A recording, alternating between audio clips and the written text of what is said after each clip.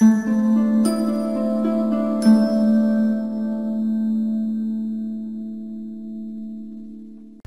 রোগে ভুগছে শালিনী যাদব নামের ভারতীয় এক কিশোরী। তার বয়স মাত্র ষোলো। এই বয়সের আর পাঁচটা ছেলে মেয়ে যখন স্কুলে গিয়ে পড়াশোনা করে, তখন শালিনীকেও তাড়িয়ে দিচ্ছেন তার স্কুল। কারণ পঁয়তাল্লিশ দিন অন্তর অন্তর ঠিক সাপের মতো এই কিশোরীর গোটা শরীরের চামড়াটাই খসে যায়। ফলে শালিনীকে দেখলেই ভয় পায় তার সহপাঠী এবং স্কুলের অন্যান্য শিক্ষার্থীরা। কিন্তু কেন এমনটা হয়, শালিনীর? তার শরীরে কি কোনো রহস্য রয়েছে? না। অত্যন্ত বিরল রোগে আক্রান্ত এই ভারতীয় কিশোরী। যে রোগের নাম এরিথ্রোডার্মা। যে রোগের ফলে ছয় থেকে আট সপ্তাহ অন্তর অন্তর শুকিয়ে গিয়ে শরীরের চামড়া খসে যায়।